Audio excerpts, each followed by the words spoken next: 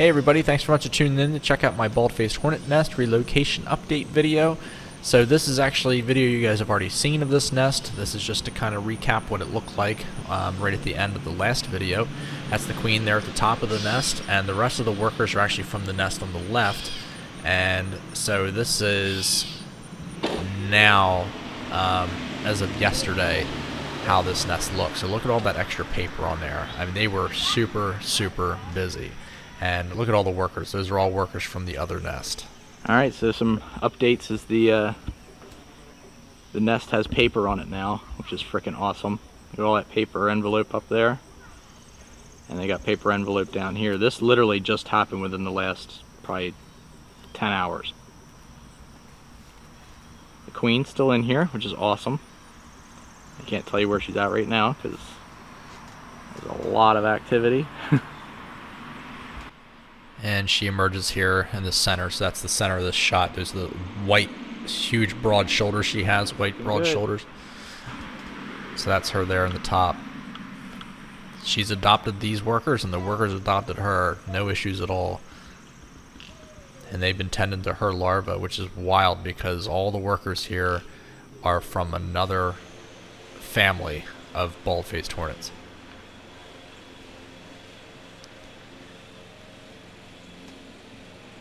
Both nests are still getting activity, which is awesome. So even though the workers are primarily at this nest right here, there actually are a lot of workers inside of the other nest to the left. So it's not like they abandoned that one and went to this one.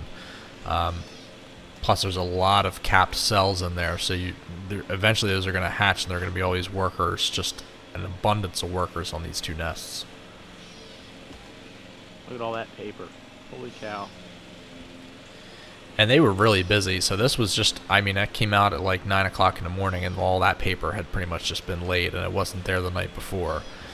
So they they got up mighty early, probably the butt crack of dawn, and started laying that paper. But I mean, you see all the workers. I mean, there are a lot of workers there. So what you're seeing worker-wise on the nest, there's probably about just as many of those out foraging.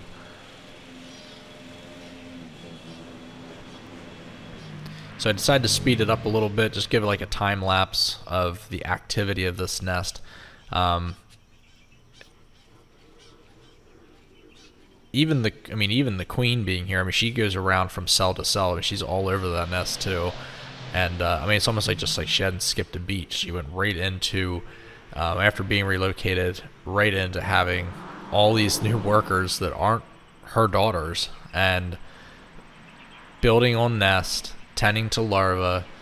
Um, they did remove a couple of the um, couple of the uh, partial partially developed adults out of some of the cells, but that's pretty normal anyway. I've seen I've seen bald-faced hornets carrying out what look like adults out of nests or out of cells and carrying them away from the nest.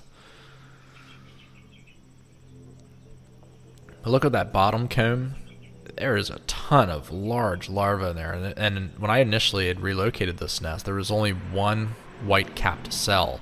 And It was like dead center in that in that comb. Well, now there's like like to count three, I think, on that on that comb.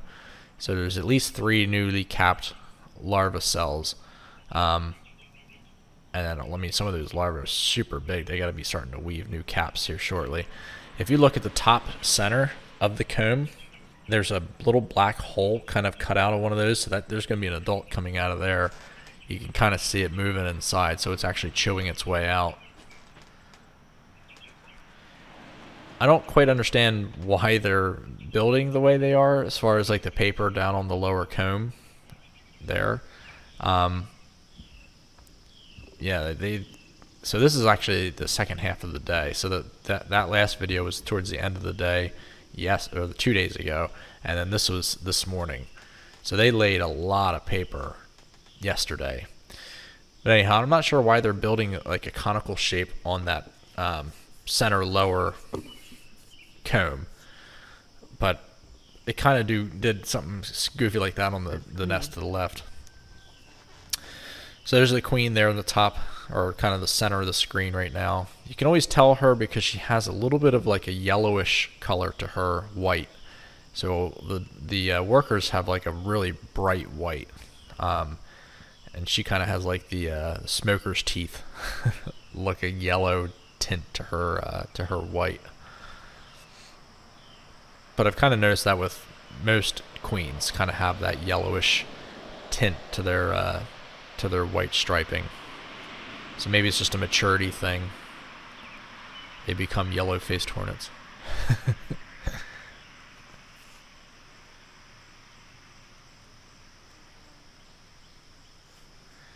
so as much as I like doing sped up and time lapse and show a lot of the activity at a, at a faster pace when it comes to long shots, um, I did want to do a lot of, or not a lot of, I should say that I did want to do um, several of the shots to be in regular speed, so you can see how the activity goes.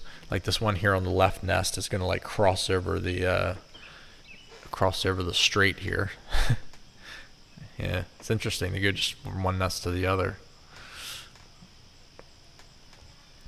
But anyhow, I wanted to get like give a feel of the the, the natural busyness inside of there. I mean, just look at that bottom comb. I mean, there's a lot of adults in there just ten, tending to those brood and laying paper and I mean, just and some of these workers you see coming back, flying back, and they like this one here on the right hand side just flew back, and it'll go up to one of the other adults and swap the food out that they're bringing back for the larva, and pretty much just then go get something to eat from the larva, and then they they take right back off and go back out. So it's quite a system they have here.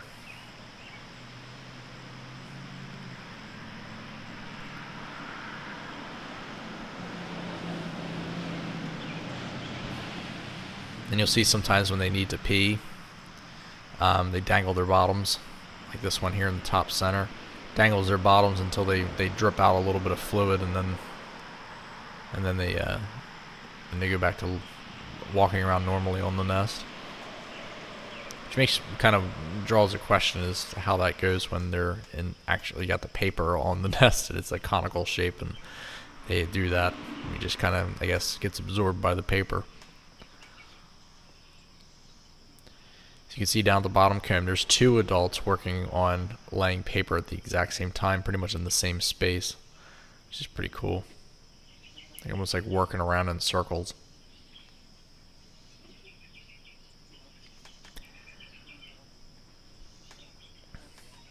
And at one point here in the when I was watching to go through some of these, uh, I had like four hours of video to look over from one day, and um, and there I think I counted like four or five individuals working on laying paper at the exact same time at different parts of the nest.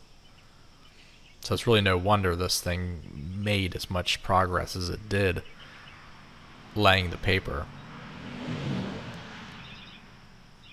Because, I mean, really, if you do the math, this has really only been about 24 hours between the last portion of the video that you saw that started to get kind of dim looking to now. I mean, this is like 10 o'clock this morning.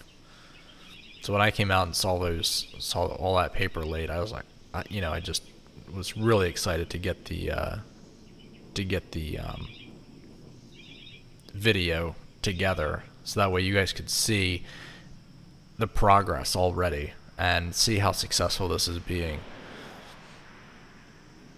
There's not going to be any spiders bothering this nest, folks, just so you know.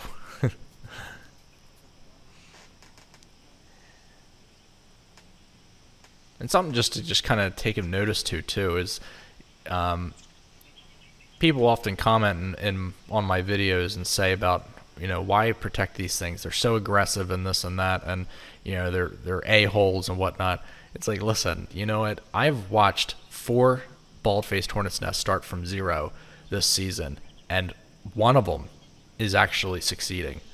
And it just goes to show you that's why they're so aggressive protecting their nest because evolution has taught them that they are they are up against it to have a successful nest.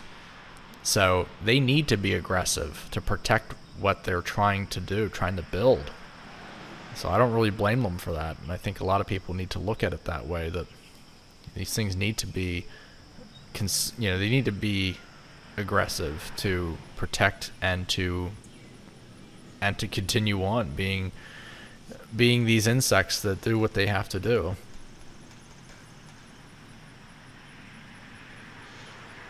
So I wanted to get a couple good close-up shots of them laying some paper.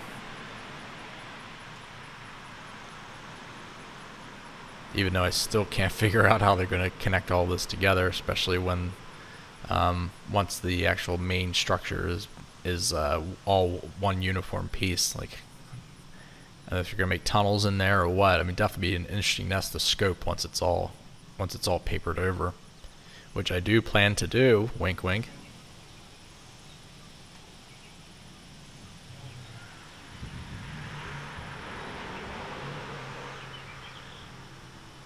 Some more busyness. This one here in the center, I just wanted to get her laying some of that paper, which is really interesting.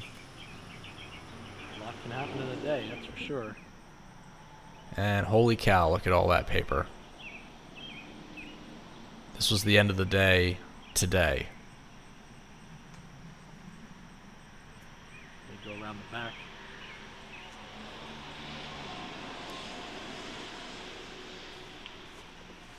So an angle of this uh, this structure that I built that you don't often see is around this side of it. I think the last time I got an angle like this was on the spout nest.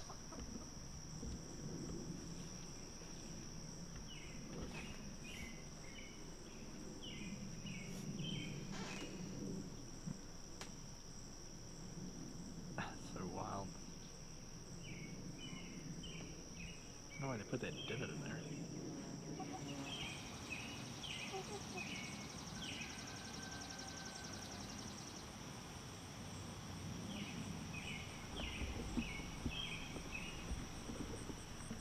Can I help you?